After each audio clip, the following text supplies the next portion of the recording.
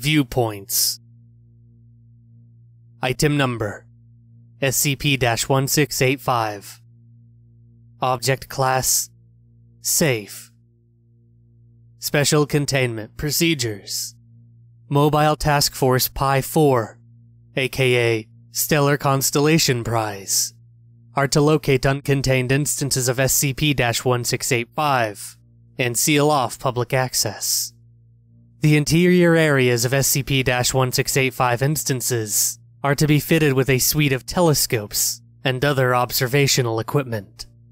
This serves a dual purpose of locating the interior areas of SCP 1685 instances and advancing Project Heimdall related observational projects.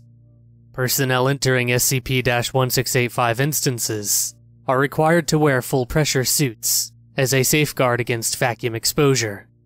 As the mechanism SCP 1685 utilizes is not fully understood, airlocks are to be constructed around each SCP 1685 instance as an additional safeguard to prevent catastrophic loss of atmosphere in the case of SCP 1685 interiors becoming gas permeable. Description SCP 1685 are a number of doors that lead to 100 meter cubed volumes in outer space. The volumes freely mix atmosphere with the Earth and are enclosed by an unknown transparent material. Non destructive testing has revealed little about the material, and destructive testing is currently not authorized. The interior areas of SCP 1685 are roughly cubic, with an apparent source of gravity that is consistent with the door used to access it. Observations have shown the interior areas of SCP 1685 are in seemingly random locations, with no pattern discovered so far.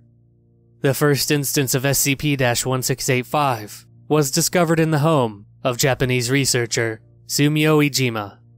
Since then, instances of SCP 1685 have been found in numerous locations on all seven continents.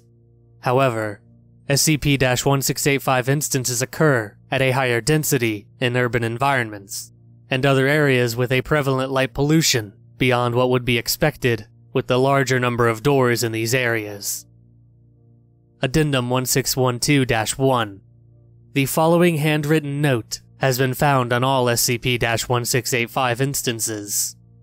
The presence of these notes is currently the only advance warning that an SCP 1685 instance is present. Look at the stars every once in a while. They're quite beautiful. Pangloss.